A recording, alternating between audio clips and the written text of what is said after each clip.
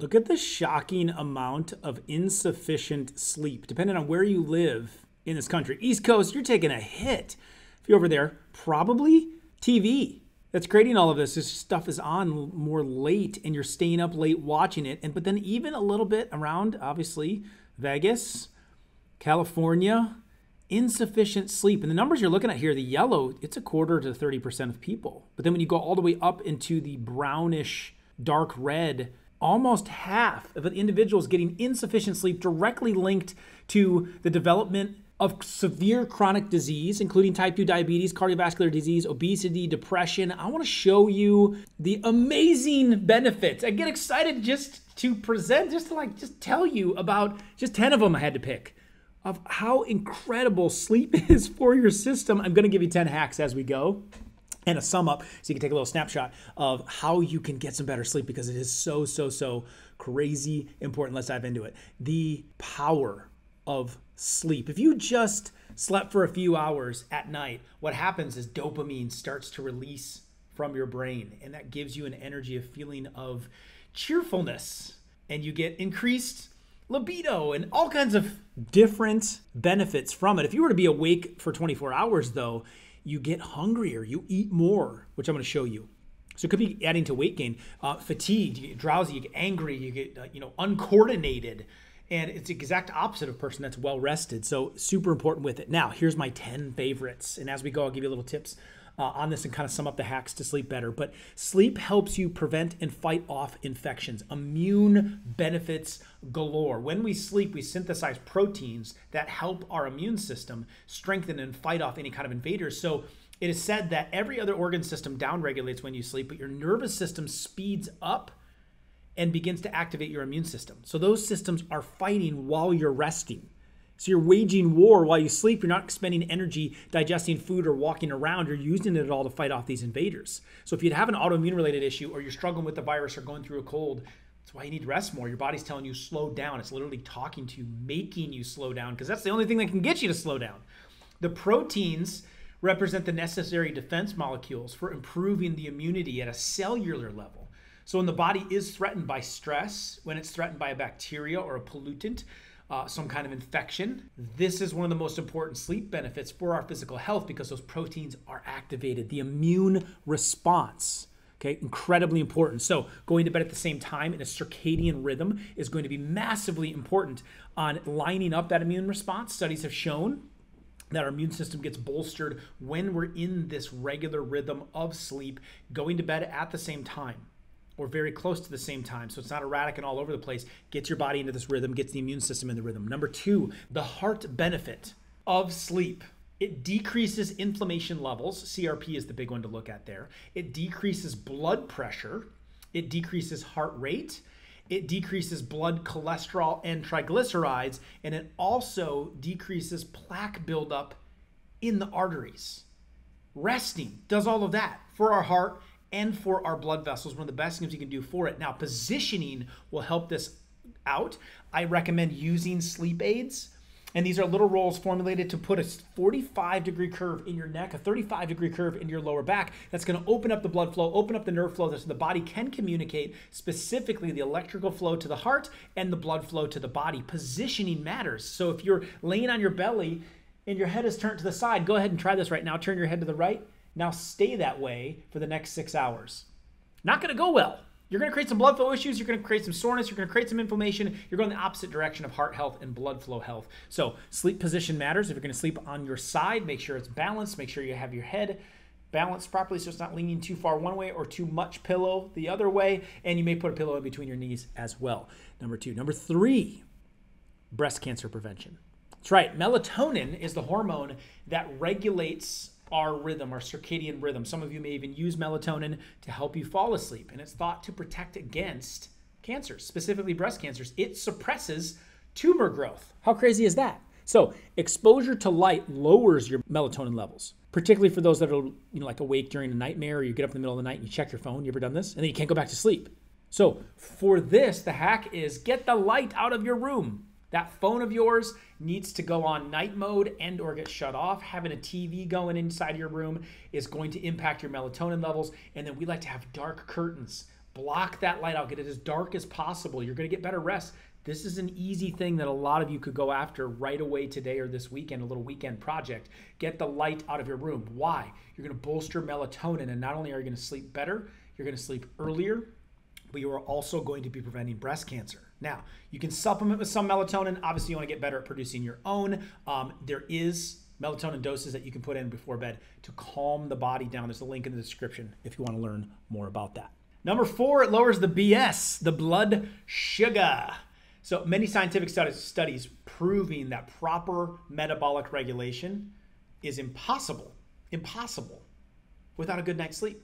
So the reason maybe you're not getting the weight loss you're wanting to see is you're not resting enough because the deep sleep, the REM cycle, drops your blood sugar levels. So you've got to get into the deep sleep. You can't just be waking up a lot, which I know a lot of us do. You don't get into the deep sleep, so then it doesn't lower the blood sugar levels. Not only is that a problem for diabetics, but it's a problem for weight loss. This is another big reason to check as a sleep hack how late you eat. Going to bed close to when you eat is one of the most disruptive ways for sleep, for your heart rate variability, and for your heart rate. So cutting food and eating off at five o'clock or six o'clock at least two to three hours before you go to sleep can make a significant impact on you getting deep sleep, which actually help you lower your blood sugar, lose weight, and have a whole bunch of other benefits. Number five, you're going to be more attractive when you sleep more. There's an article uh, published in British Medical Journal. They took 23 people, real study, okay? They photographed them both after no sleep, being awake for 31 hours, and after they had slept for eight hours. And then they took the actual photos and gave them to 65 people and they were judged based on how healthy, tired, and attractive those people were in the photos, like what they looked. And the results showed, of course, that the people that got more sleep were less likely to be sick, tired, and unattractive. You're going to look better when you do it. So you can put together a little beauty routine, men and women, before bed. You may try an Epsom salt bath, which is going to calm your system down. Very good for the skin. You could add in essential oils. You could also add in baking soda to help to detox the system. You could put some essential oils um, on the face to one breathing that in helps to relax the system good for the skin so that kind of goes hand in hand with being more attractive with proper sleep which leads into number six the benefits of sleep on our skin and how we age. Sleep determines the production of collagen. It happens while we sleep. So if it's interrupted sleep, it's interrupted collagen production. Collagen decreases as it is for age, and it is responsible for the sagginess and the elasticity of our skin, let alone our guts. So to prevent more of that, research shows lying on your back is better for your complexion and using some collagen potentially before bed you could be putting collagen in to help that collagen production, or I like to have mine first thing in the morning for breakfast to help collagen production throughout the day and allow my body to produce it at night.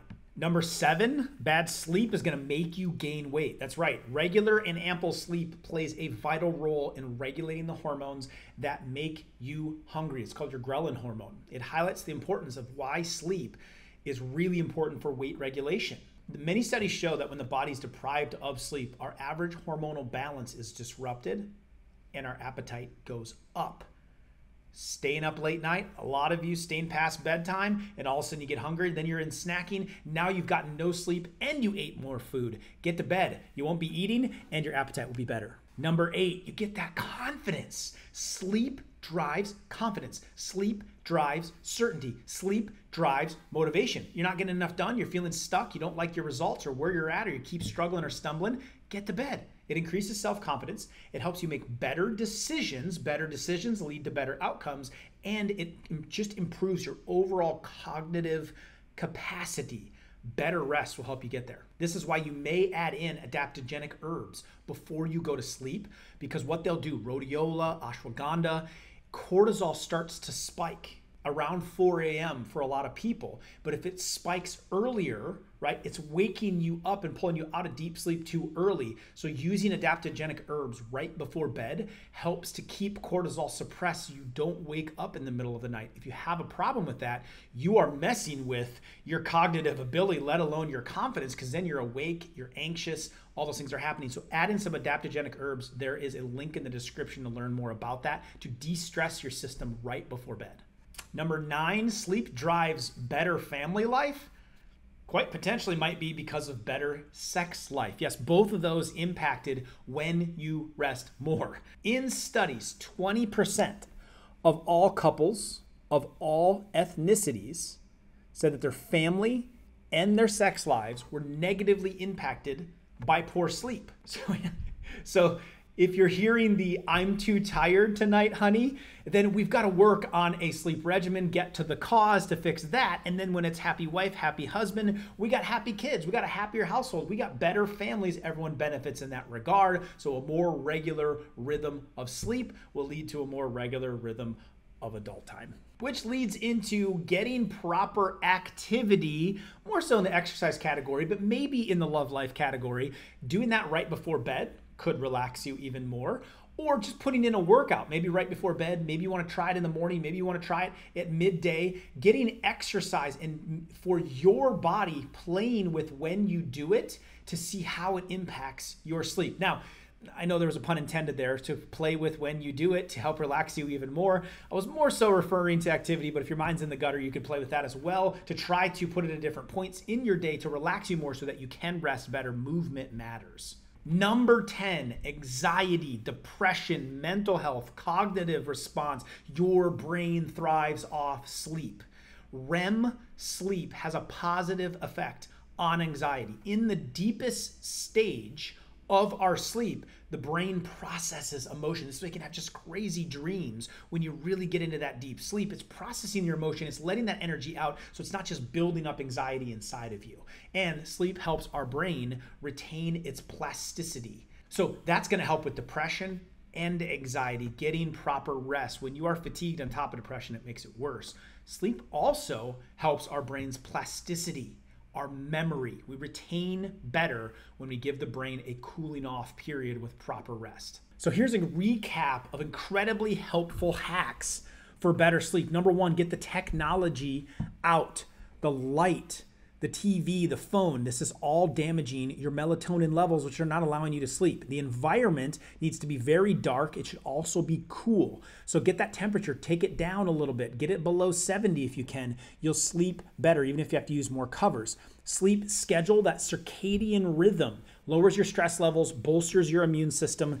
Get a sleep schedule. Keep to it. Diet, don't eat too close to sleep.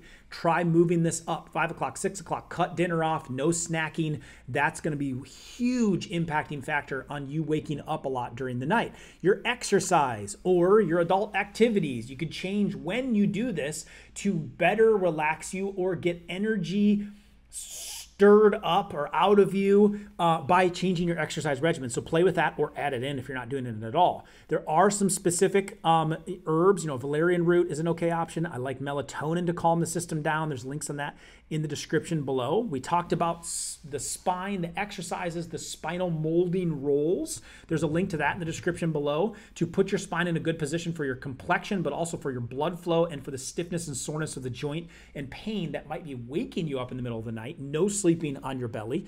Try an Epsom salt bath slash beauty routine with some essential oils before you go to bed to calm the system down. And you don't have a getting up early problem. You have a going to bed early problem. Those are the nine hacks for better sleep. I'm telling you, they work, and it is crazy important on our body to get good rest. 50% of us not doing a good job with it go dive into how you can improve your sleep. And if you want to know why you just still look so tired, bags under your eyes, uh, you know, aging around your eyes, even though you're getting good rest, you're working on your sleep, why is that still happening? Check out my video here of what your face is telling you, not about even being tired, but mineral deficiencies. Could be that you're deficient in minerals, and that's why you're still having signs of it on your face. Check that video out here.